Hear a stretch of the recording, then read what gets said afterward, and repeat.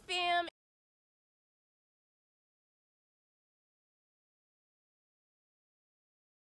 It's your girl Asha and back at it and today we're going to be checking out for the first time comedian Stewart Francis. I made a community post asking you guys what other comedians you wanted me to react to. He was one of them. I'm actually going to react to every last suggestion.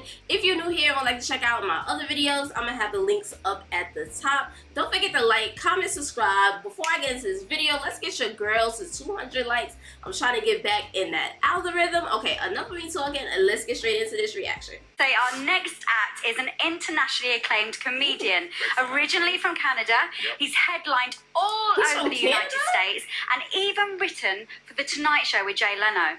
He's now based in the UK. Please welcome Stewart Francis. Big welcome. I don't know why I automatically assumed that he was a Brit. I automatically assumed that, but he's from Canada.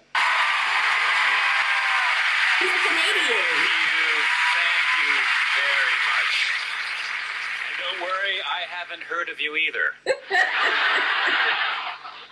okay. Before I rock the microphone, I want to uh, I want to dedicate my performance tonight to my father, who was a roofer. So, Dad, if you're up there, Hey, Dad.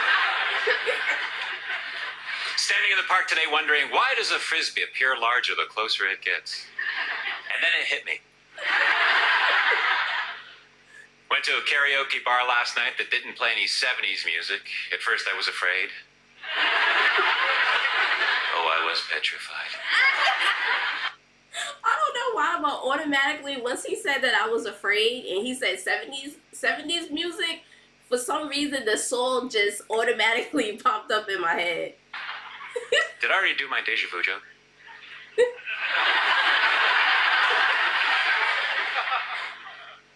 my grandma, who's addicted to tea, hates the way I say things. Tea kettle. And that's like a list, right? She doesn't enjoy my visit. Tea kettle. I'm the kettle. My dad has a weird hobby. He collects empty bottles, which sounds so much better than alcoholic, doesn't it? You better go cash them. Growing up, I was under the impression my dad didn't like me very much because he hardly ever did anything with me. He only took me fishing once, and I remember swimming back to shore thinking, Wait, what? my dad doesn't like me very much. That literally almost went over my head. Literally, just like that, but I caught on. I went golfing once, and I remember swimming back to shore thinking, golf's a lot like fishing. I have a girlfriend. Uh, I've been going out with my girlfriend for uh, uh, uh, sex.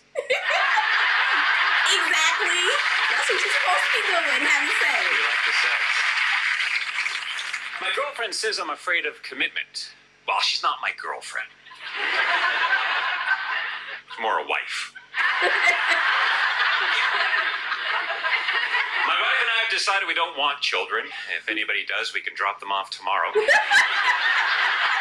and get these damn kids, okay? Sometimes I just don't want to be a parent. Come get these kids. I'm with you, Stewart. I'm definitely with you and your wife, okay? We are here.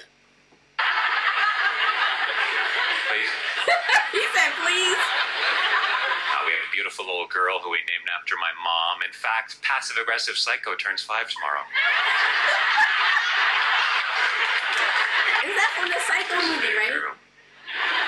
So Halloween is soon upon us. I remember the first time my father took me trick or treating. I remember swimming back to shore thinking,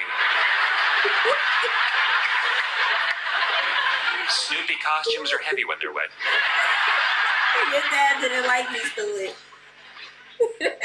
I like what mechanics wear overall. People call me a hypochondriac, which uh, really hurts. You do sound like her. I quit my job at the helium gas factory. I refuse to be spoken to in that tone. Wait, I love this type of um stand up. This is like I don't know. I don't know how to explain it, but it's hilarious. And I don't know, it's just catchy. Like I just love it. I don't know, I don't know how to explain it. It's different. That's the thing, my friends. I'm a one-liner comedian. I'm, I'm not a storyteller. Interesting how that all started. Oh. but wait, he literally telling the story with one line. Literally. So I'm tired of people calling me lazy. I've had it up to here. No, I am lazy. I'm so lazy. Um,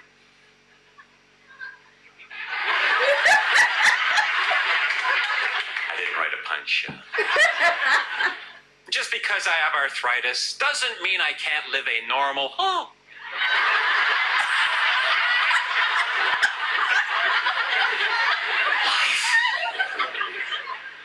Irony. That's one thing I truly do respect about you people here in Britain. You get irony, and it's everywhere. Today I slapped a homeless person so hard, my charm bracelet fell off. Isn't that fantastic? Irony. Sharon Osbourne judges talent. I know. Irony. There's a paper in Britain called The Sun. Oh, it's true. You can't write this stuff. There's a paper in Britain called The Sun. Yes. My father was a man of few words. I remember he used to say to me, son, Oh, son. get your trunks, we're going to the library. Oh my god. I like him. I went to university on a swimming scholarship. University, I was going to join the debating team, but someone talked me out of it. Your dad. Uh, I want to write a mystery novel. Or do I? I actually have written a book. Or have I? I won't do it again. Or will he? It's hard to tell with this renegade. I've written a book about a transsexual with a speech impediment. It's titled Man or Myth. No. It's in bookstores. I love to go to bookstores. Sorry, wrong joke.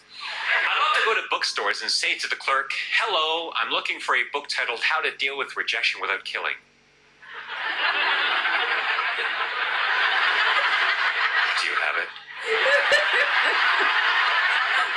Why is so serious? His face. His facial expression. says I have a preoccupation with vengeance. We'll see about that. Do I watch a lot of television? Oh, yes.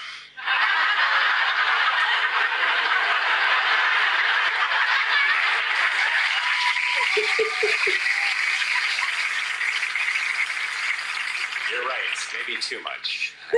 My favorite show is Richard and Judy. I have a lot of respect for Richard. I couldn't work with my mother.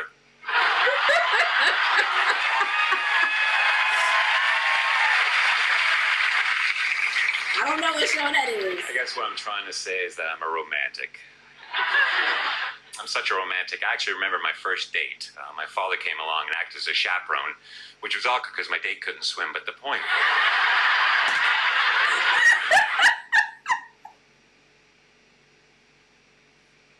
The dad jokes. Oh my god, the dad jokes. Lord have mercy.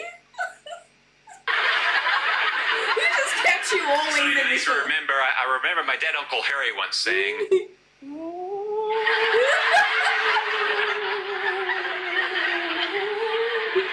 he died two years later. he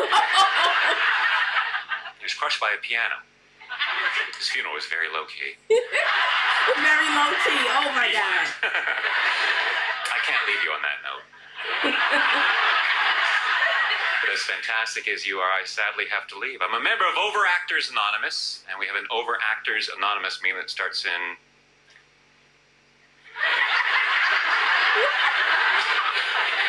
An hour. Sir Francis, you've been fantastic. Good night, Oh my god, this was hilarious. This was definitely different, and I'm guessing it's kind of like a one-liner. And I feel like he was telling a story. I don't know how to put it into words, but this was definitely amazing. I don't know. I don't know how to explain it. I need to digest it some more because it was definitely different wasn't too over the top comment down below let me know what you guys think don't forget let's get your girl to 200 likes and i'll see you guys in the next video. Bye fam